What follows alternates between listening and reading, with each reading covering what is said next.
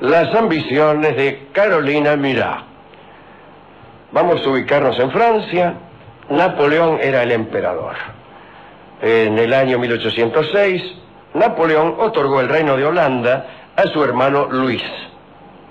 Carolina, también hermana del emperador, tuvo un violento ataque de celos que la enfermó y la obligó a guardar cama. Para calmarla, Napoleón cedió a Carolina, que estaba casada con uno de sus, sus generales, ¿no? Joaquín Mirá. Concedió, digo, a Carolina los grandes ducados de Berg y Cleves. Pero Carolina se indignó todavía más. Ella quería ser reina, recibir los homenajes de algún pueblo, elegir a sus amantes con órdenes y utilizar en su provecho el tesoro del Estado que le tocara en suerte. A principios de 1807, una noticia falsa le dio a Carolina una idea. Corrió el rumor de que Napoleón había sido herido en batalla. Y Carolina se preguntó de qué modo ella podía suceder a Napoleón si finalmente resultaba muerto en el frente. Ella sabía que José, que Luis, que José el otro hermano, ¿no? Pepe Botesa.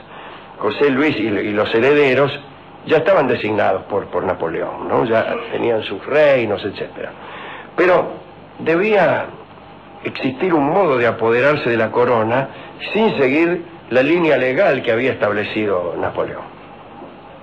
Dice el cronista que Carolina leyó algunos libros de historia y llegó a la siguiente conclusión. El único modo de hacerse de un imperio sin respetar la sucesión era dando un golpe de Estado. Entonces lo planeó. Para triunfar necesitaba asegurarse la colaboración de Junot, que era por entonces gobernador de París y un estrecho colaborador de Napoleón desde hacía muchos años. Carolina, segura de su atractivo, invitó a Junot a su palacio. ¿Cuál era la idea? Bueno, seducir a Junot y en el caso de muerte de Napoleón, en el frente, eh, tener nada menos que al jefe de la guarnición de París de su lado, hacíamos algún bochinche y nos quedábamos con, con la sucesión. Dice la crónica. Lo invitó a Junot a la mina, ¿no? Lo impresionó, dice, con un escote que parecía un escaparate. Su busto estaba expuesto como sobre un plato. Hizo enrojecer a Junot con unas miradas inmodestas, que son las que más me gustan.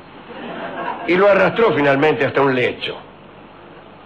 Junot, que estaba lejos de sospechar el plan de Carolina, se puso muy contento. Ella le decía todo el tiempo que era un amante maravilloso y que volviera a verla cuando, cuando lo deseara. Junot se fue y regresó a las dos horas.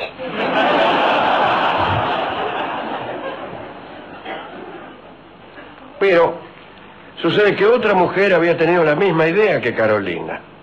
Y esa mujer era nada menos que la, la, esposa del emperador, Josefina. Ella no andaba bien con Napoleón y sospechaba que podía ser repudiada en cualquier momento. Josefina había imaginado que el sucesor de Napoleón, si le pasaba algo, debía ser su hijo Eugenio, no el hijo de Napoleón, el hijo de ella, que había tenido con un matrimonio anterior al de Napoleón, probablemente con el amigo Beauharnais. Para tener éxito en esa operación, Josefina también pensó en ganarse la colaboración de Junot. Aclaremos que, en tanto era gobernador de París, este, el amigo Junot tenía a su disposición una guarnición muy importante. Josefina lo invitó a cenar y le expuso con toda franqueza su proyecto. Pero se equivocó. Junot sentía por Napoleón una auténtica adoración. Sobresaltado le dijo a Josefina que el orden sucesorio ya había sido determinado y se las tomó enojado. Josefina, rechazada en sus ambiciones, no lo molestó más. Después de aquella cena frustrada, Junot, escandalizado, corrió junto a su nueva amante Carolina y le contó todo. Mirá vos lo que me dijo esta, ¿no? Este, Carolina se enteró entonces de dos cosas, que tenía una rival y que Junot sería difícil de convencer para llevar adelante su plan.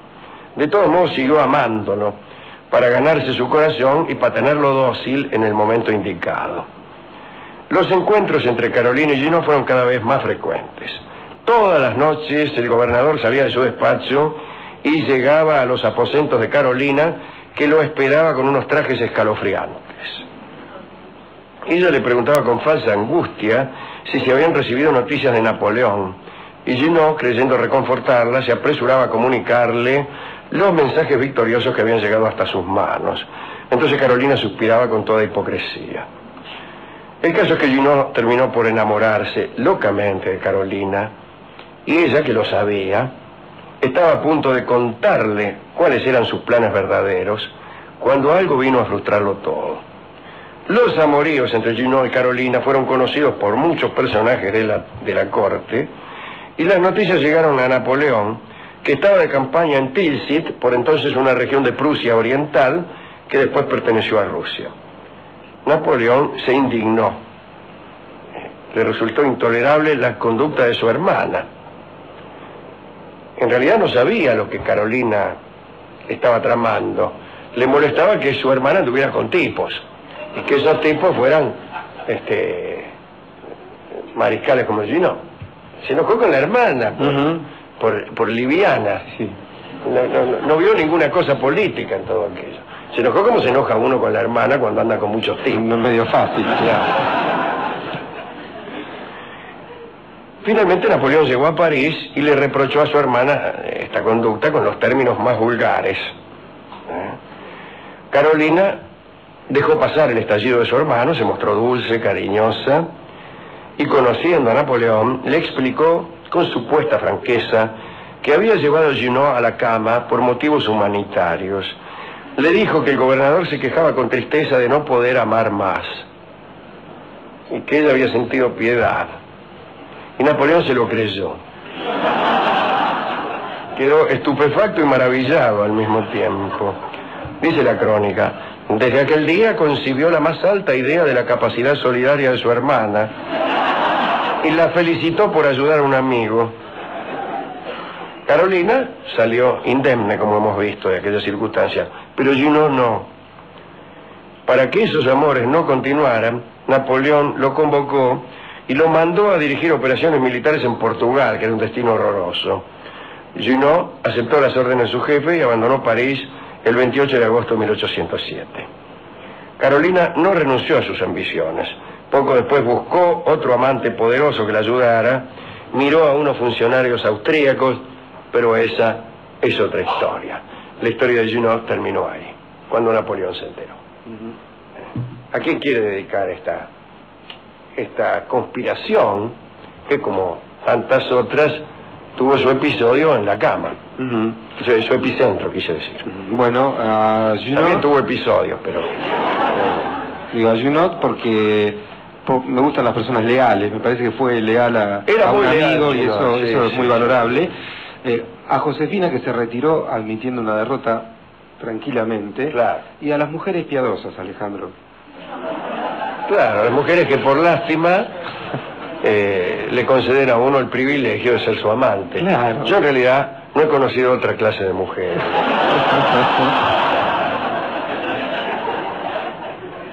Gracias a la piedad femenina,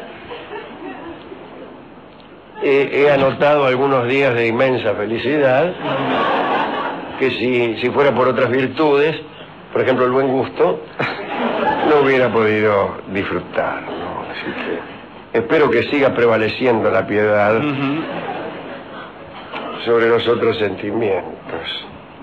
Hemos ido a la discoteca, le explicamos al discotecario el asunto y nos dio el tango berretín, ya que eh, si tenés el berretín de Sermina de gran brillo, eh, ese no es el tango berretín, pero usa la palabra berretín, que quiere decir este, un, deseo desmesurado, eh, un, capricho, una, especie de desmesura en lo que uno pretende. Ese es un berretín. Y efectivamente, eh, Carolina tenía el berretín de ser reina escucharemos la versión que de este bellísimo tango ha hecho Astor Piazzolla con el, quinteto. Este es el quinteto Nuevo Tango, ¿eh? Creo. No, no es el quinteto Nuevo Tango. Aquí está Horacio Malvicino en guitarra. Quicho Díaz, el clásico contrabajista de, de Astor. Simón Mayur en violín y Jaime Gossis en piano.